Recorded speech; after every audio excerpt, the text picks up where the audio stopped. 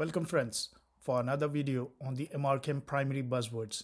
The exams are not far away and I am hopeful that you guys are prepared very well. Let us not waste further time and I'm Sajjad Pathan. Let's move ahead with the buzzwords for today. Fracture neck of humerus. Which nerve is involved with fracture neck of humerus? That will be your axillary nerve. Fracture neck of humerus will be your axillary nerve. Fracture shaft of humerus. Fracture shaft of humerus will be your radial nerve. Fracture shaft of humerus, radial nerve, which will lead to wrist drop. Dermatome at the nipple, that is your T4. Dermatome at the nipple is your T4.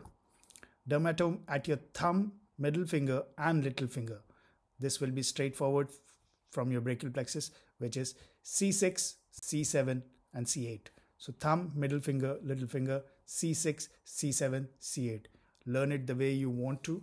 Uh, thumb, middle finger, little finger, C6, C7, C8. Foot drop. What nerve is involved?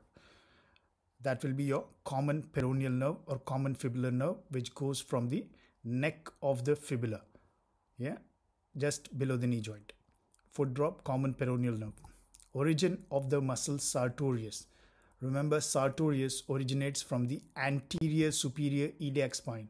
Anterior superior iliac spine, is the origin of sartorius, and then it goes all the way through the thigh and below the knee joint and inserts medially at the proximal tibia. But origin is important anterior superior iliac spine. Horner's syndrome. What are the symptoms associated with Horner's syndrome? Which will be your PAM ptosis, anhidrosis, and miosis. Ptosis, anhidrosis, and miosis is Horner syndrome. Type 1 hypersensitive reaction. What are the examples? It is atopic conditions, anaphylaxis, asthma, anaphylaxis, atopic conditions, and asthma. Type 2 hypersensitive reactions are your ABO incompatibility, ABO hemolysis, rheumatic heart disease, good Goodpasture syndrome, good Goodpasture syndrome. Yeah, this is an antigen antibody reaction. Type 3 is an antigen antibody immune complex reaction. So there are three things over here. And this is your serum sickness, vasculitis, post streptococcal glomerulonephritis, serum sickness, vasculitis, any kind of vasculitis, giant cell arteritis, Kawasaki's. Uh, these are all vasculitis can be is type 3 and post streptococcal glomerulonephritis. Type 4 the examples are your Mantoux test, which is your TB, and contact dermatitis, especially with nickel. Left shift of oxygen dissociation curve. We saw the right shift last time, which was the cadet. Here we are looking at the left shift of oxygen dissociation curve, and these are your abnormal hemoglobins. Abnormal, they are not actually abnormal, but just remember abnormal hemoglobins, which are carbon monoxide, fetal hemoglobin, and methemoglobin Type 2 pneumocytes. What is the function of type 2 pneumocytes? It forms the surfactant, which reduces the surface tension in the alveoli. It also regenerates the new cells. Type 2 pneumocytes surfactant, which is very, very important, reduces the surface tension of the alveoli, increases compliance. What is the function of type 1 pneumocyte? What is the function of type 1 pneumocyte? And that is your alveolar gas exchange type 1 pneumocyte just involves in alveolar gas exchange. Islets of pancreas, alpha cells, beta cells, and delta cells. How do I remember these? It's very simple, guys. It is glucagon, insulin, somatostatin. If you can't remember, there's a mnemonic that Abdul produces gist of basic sciences. Abdul is me who produces the gist, glucagon, insulin, and somatostatin of the islets of pancreas cells. Alpha cells will secrete glucagon, beta, insulin, and delta somatostatin.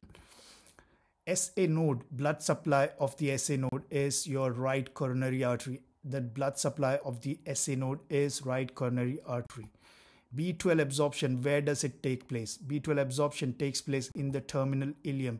B12 absorption takes place in the terminal ileum. So, therefore, people who are having Crohn's ileitis or people who have resection will have B12 deficiency as well. Macrocytic anemia. Macrocytic anemia is seen in B12 deficiency and folate deficiency. You see macrocytic anemia in B12 deficiency and folate deficiency. Acyclovir, what is the mechanism of action? Mechanism of action of acyclovir is it inhibits viral DNA polymerase. Acyclovir inhibits viral DNA polymerase. This you need to put in down because this is a very commonly tested fact. Acyclovir mechanism of action inhibits viral DNA polymerase.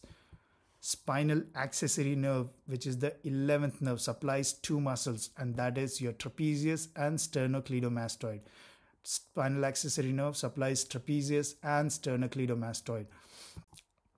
Thank you for watching the video. Good luck for your exams. I hope these videos are useful. If you're liking these videos and you want me to make some more before your exams, please put in a comment below and uh, I would definitely make it for if you need one. If you're liking it, please do share it with your friends and colleagues and uh, subs consider subscribing to my channel. Thank you. All the best for your studies and your exams. Uh, Good luck. Peace.